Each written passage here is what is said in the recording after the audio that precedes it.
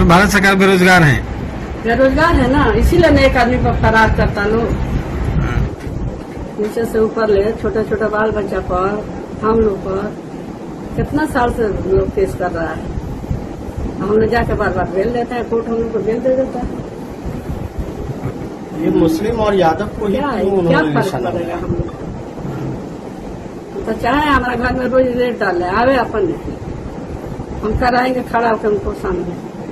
चलिए निकाली। कहाँ का है? पूरा घर घर बिहार भर में करा ले। घर घर करा ले। एक घर नहीं छोड़े। तो हम लोग के कहाँ खिलाफ निकलता है क्या निकलता है?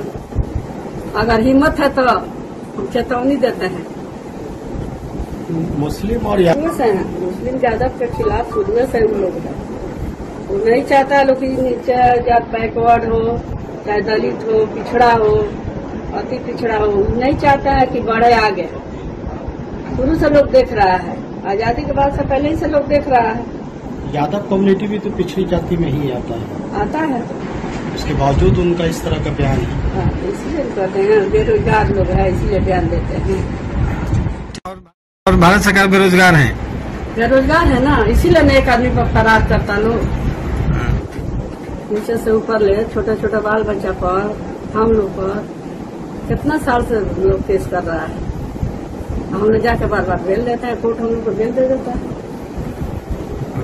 ये मुस्लिम और यादव को ही क्या क्यों क्या उन्होंने फ़र्क पड़ेगा हम लोग तो चाहे हमारे घर में रोज रेट डाले आवे अपन। हम कराएँगे खड़ा होकर उनको सामने। चलिए निकाली कहाँ का है। पूरा घर घर बिहार भर में करा ले। घर घर करा ले। एक घर नहीं छोड़े। तो हम लोग के कहाँ खिलाफ निकलता है क्या निकलता है अगर हिम्मत है तो हम चेतावनी देते हैं।